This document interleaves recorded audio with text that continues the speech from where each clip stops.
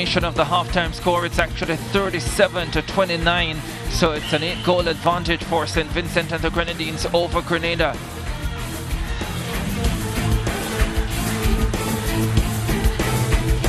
Well, they were locked at 16 all at the end of the first quarter. The second quarter, 21 goals scored by Grenada and 21 goals scored by St. Vincent and the Grenadines and 13 by Grenada and over in Natty. That may well be the quarter that separates these two teams for good. Yes, certainly the scoring, the ability for St.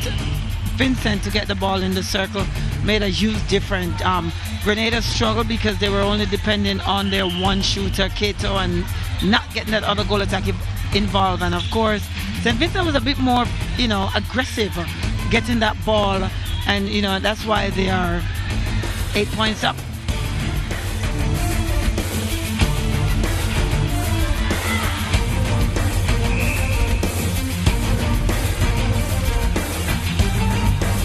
Marion Frederick solid at goal shoot for St. Vincent and the Grenadines and Shalissa Davis impressive as well scored her first six shots eventually missed two in that second quarter but the Vincentians consistently getting the ball into the circle and shooting wonderfully well uh, this afternoon and they have come out meaning business and that second quarter performance may be what separates the teams at the end of this contest.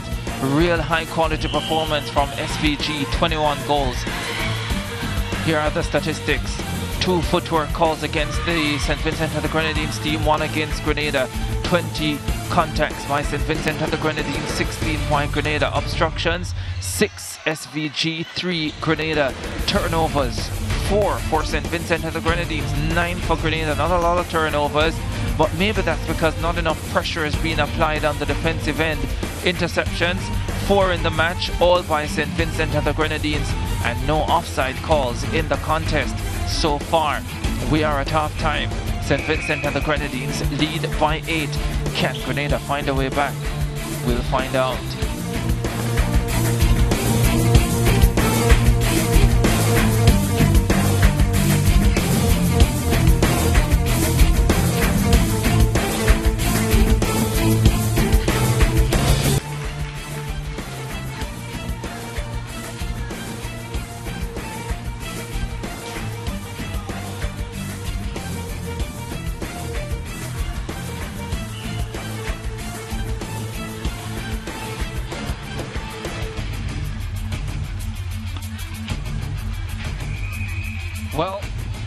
Expected this one to be close, and it was in the first quarter. The teams locked at 16 all, but a brilliant second quarter from the St. Vincent and the Gren and Grenadines team, where they scored 21 goals to Grenada's 13, making it 37 29 at the half.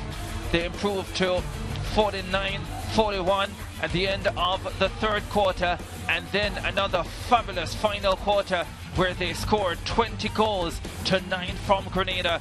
It was an utterly dominant performance from St. Vincent and the Grenadines. And over in Peterson I'm not sure we expected a 19 goal difference at the end of this contest. Not at all. We didn't expect that. But guess what? Kudos to St. Vincent. They came out looking business like I thought Grenada came out flat. They lack energy, they lack aggression, and they just um, just allowed St. Vincent to walk all over them. They left the whole work on um, Letitia Cato. And when you play a game like netball with this close, everybody has to be involved. And um, we didn't get that from their goal attacks. None of their goal attacks that came in. But um, St. Vincent, they turned things around. They did better than when they played Barbados, meaning that goal, at goal attack, their goal attackers were highly involved. Yeah, in contrast, the St. Vincent and the Grenadines team when Shanice Daniel came on in that final quarter looked even better than they did before and that accounted for the 20 goal performance in that final quarter. Six footwork calls in the contest, four against St. Vincent and the Grenadines, two against Grenada. Contacts, 38 against St. Vincent and the Grenadines, 35 against Grenada. Obstructions, 11 called against Grenada, 9 against St. Vincent and the Grenadines. 17 turnovers. That's good for the entire match for St. Vincent and the Grenadines. 23 for Grenada.